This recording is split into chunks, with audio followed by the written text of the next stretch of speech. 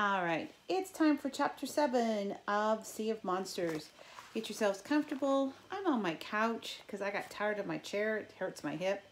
So let's sit back and enjoy. I accept gifts from a stranger. Now, if we remember in chapters one through six, Percy has found out he has a half brother who's a Cyclops. Um, the camp is now being run by Tantalus, and I hope that you read the link about who Tantalus was because he was not a good person. And we saw him very briefly in the last Percy Jackson book. Chiron has been banished. The camp is under attack. Grover is in danger. We're not sure. And things have been a little weird in old Camp Half-Blood. So let's pick it up. The way Tantalus saw it, the Stymphalian birds had simply been minding their own business in the woods and would have not have attacked if Annabeth, Tyson, and I hadn't disturbed them with our bad chariot driving. This was so completely unfair. I told Tantalus to go chase a donut, which didn't help his mood. He sentenced us to kitchen patrol, scrubbing pots and pans and platters all afternoon in the underground kitchen with the cleaning harpies. The harpies washed with lava instead of water to get that extra clean sparkle and kill 99.9% of all the germs. So Annabeth and I had to wear asbestos gloves and aprons. Tyson didn't mind. He plunged his bare hands right in and started scrubbing. But Annabeth and I had to suffer through hours of hot, dangerous work, especially since there were tons of extra plates. Tantalus had ordered a special luncheon banquet to celebrate Clarice's chariot victory, a full course meal featuring country fried Stymphalian deathbird. The only good thing about our punishment was that it gave Annabeth and me a common enemy, and lots of time to talk. After listening to my dream about Grover again, she looked like she might be starting to believe me. If he's really found it, she muttered, and if we really could retrieve it. Hold on, I said. You act like this, whatever it is Grover found, is the only thing in the world that could save the camp. What is it? I'll give you a hint. What do you get when you skin a ram? Messy? She sighed. A fleece. A fleece of a ram. Uh, the coat of a ram is called a fleece. And if that ram happens to have golden wool. A golden fleece? Are you serious? Annabeth scraped a plate full of death bird bones into the lava. Percy, remember the Grey sisters? They said they knew the location of the thing you seek. And they mentioned Jason. 3,000 years ago, they told him how to find the golden fleece. You do know the story of Jason and the Argonauts. Yeah, I said, that old movie with the clay skeletons? Annabeth rolled her eyes. Oh my gods, Percy, you are so hopeless. What? I demanded. Just listen. The real story of the fleece. There were these two children of Zeus, Cadmus and Europa, okay? They were about to get offered up as human sacrifices when they prayed to Zeus to save them. So Zeus sent this magical flying ram with golden wool, which picked them up in Greece and carried them all the way to the Colchis in Asia Minor. Well, actually, it carried Cadmus. Europa fell off and died along the way, but that's not important. It's probably important to her. The point is Cadmus got into Colchis. He sacrificed the golden ram to the gods and hung the fleece in a tree in the middle of the kingdom. The fleece brought prosperity to the land. Animals stopped getting sick. Plants grew better. Farmers had bumper crops. Plagues never visited. That's why Jason wanted the fleece. It can revitalize any land where it's placed. It cures sickness, strengthens nature, cleans up pollution. It could cure Thalia's tree. Annabeth nodded. And it would totally strengthen the borders of Camp Half-Blood. But Percy, the fleece, has been missing for centuries. Tons of heroes have searched for it with no luck. But Grover found it, I said. He went looking for Pan, and he found the fleece instead because they both radiate nature magic. It makes sense, Annabeth. We can rescue him and save the camp at the same time. It's perfect. Annabeth hesitated. A little too perfect. Don't you think? What if it's a trap? I remember last summer how Kronos had manipulated our quest. He almost fooled us into helping him start a war that would have destroyed Western civilization. What choice do we have? I, I asked. Are you going to help me rescue Grover or not?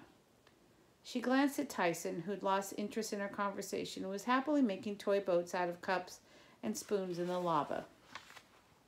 Percy, she said under her breath, we'll have to fight a Cyclops, Polyphemus, the worst of the Cyclops. And there's only one place his island could be the Sea of Monsters. Where's that? She stared at me like she thought I was playing dumb. The Sea of Monsters, the same sea Odysseus sailed through, and Jason and Aeneas and all the others? You mean the Mediterranean? No. Well, yes, but no. Another straight answer. Thanks. Look, Percy, the Sea of Monsters is the sea of all heroes sail through on their on their adventures. It used to be in the Mediterranean, yes, but like everything else, it shifts location as the west center of power shifts. Like Mount Olympus being above the Empire State Building, I said, and Hades being under Los Angeles? Right. But a whole sea full of monsters, how could you hide something like that? Wouldn't the mortals notice weird things happening, like ships getting eaten and stuff? Of course they notice. They don't understand, but they know something strange about that part of the ocean. The Sea of Monsters is off the east coast of the U.S. now, just northeast of Florida. The mortals even have a name for it. The Bermuda Triangle? Exactly. I let that sink in. I guess it wasn't stranger than anything else I'd learned since coming to Camp Half Blood. Okay, so at least we know where to look. It's still a huge area, Percy. Still searching for one tiny island in monster infested waters. Hey, I'm the son of a sea god. This is my home turf. How hard can it be? Annabeth knit her eyebrows. I mean, she kind of like, mm. We'll have to talk to Tantalus and get approval for a quest. He'll say no. Not if we tell him tonight at campfire in front of everybody. The whole camp will hear. That'll pressure him. He won't be able to refuse. Maybe. A little bit of hope crept into Annabeth's voice. We better get these dishes done. Hand me the lava spray gun, will you? That night at campfire, Apollo's cabin let us sing along. They tried to get everybody's spirits up, but it wasn't easy after the afternoon's bird attack. We all sat around a semicircle of stone steps, singing half-heartedly and watching the bonfire blaze while the Apollo guys strummed their guitars and picked their lyres. Lyres, I'm sorry, lyres. We did all the camp, standard camp numbers, down by the Aegean. I'm my own great, great, great, great grandpa. This land is Minos land. The bonfire was enchanted, so the louder you sang, the higher it rose, changing color and heat with the mood of the crowd. On a good night, I'd seen it 20 feet high, bright purple, and so hot the whole front row's marshmallows burst into flames. Tonight, the fire was only five feet high, barely warm, and the flame was the color of lint. Dionysus left early. After suffering through a few songs, he muttered something about how even Pinochle with Chiron had been more exciting than this. Then he gave Tantalus a distasteful look and headed back towards the big house. When the last song was over, Tantalus said, Well, that was lovely. He came forward with a toasted marshmallow on a stick and tried to pluck it off real casual like, but before he could touch it, the marshmallow flew off the stick. Tantalus made a wild grab, but the marshmallow committed suicide, diving into the flames. Tantalus turned back towards us, smiling coldly. Now then, some announcements about tomorrow's schedule. Sir, I said. Tantalus' eye twitched. Our kitchen boy has something to say. Some of the Ares campers snickered, but I wasn't going to let anybody embarrass me into silence. I stood and looked at Annabeth. Thank the gods she stood up with me. I said, We have an idea to save the camp. Dead silence, but I could see I got in everybody's interest because the campfire flared bright yellow. Indeed, Tantalus said blandly. Well, if it has anything to do with chariots, the Golden Fleece, I said, I know where it's at. The flames burned orange. Before Tantalus could stop me, I blurted out my dreams about Grover and Polyphemus Island. Annabeth stepped in and reminded everybody what the fleece could do. It sounded more convincing coming from her. The fleece can save the camp, she concluded. I'm certain of it. Nonsense, said Tantalus. We don't need saving. Everybody stared at him until Tantalus started looking uncomfortable. But besides, he said quickly, the Sea of Monsters, it's hardly an exact location. You wouldn't even know where to look. Yes, I would. I said. Annabeth leaned towards me and whispered, You would? I nodded. Because Annabeth had jogged something out of my memory when she reminded me about the taxi drive with the Gray sisters. The time, the information they gave me made no sense, but now, 30, 31, 75, 12, I said. Okay, Tantalus said. Thank you for sharing those meaningless numbers. They're sailing coordinates. I said latitude and longitude. Um, I learned about it in social studies. Even Annabeth was impressed. 30 degrees, 31 minutes north, 75 degrees, 12 minutes west. He's right. The Gray sisters gave us those coordinates. That'd be somewhere off in the Atlantic coast, off the coast of Florida, the Sea of Monsters. We need a quest. Wait a minute, Tantalus said. But the campers took up the chant. We need a quest. We need a quest. The flames rose higher. It isn't necessary, Tantalus insisted. We need a quest. We need a quest. Fine, Tantalus shouted, his eyes blazing with anger. You brats want me to assign a quest? Yes. Very well. I shall authorize a champion to undertake this perilous journey to retrieve the Golden Fleece and bring it back to camp, or die trying. My heart filled with excitement. I wasn't going to let Tantalus scare me. This was what I needed to do. I was going to save Grover and the camp. Nothing could stop me. I allow the, our champion to consult the oracle, Tantalus announced, and choose two companions for the journey. And I think the choice of companion of champions is obvious. Tantalus looked at Annabeth and me as if he wanted to flay us alive.